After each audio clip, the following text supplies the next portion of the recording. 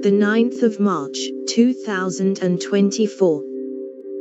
Sakuna, of Rice and Ruin anime adaptation is happening. An anime adaptation based on Sakuna, of Rice and Ruins in production, Toho announced today. PA Works will be handling the animation.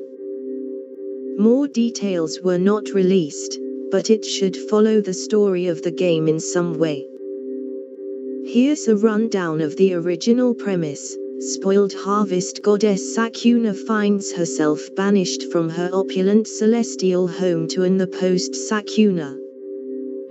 Of Rice and Ruin anime adaptation is happening appeared first on Nintendo Everything.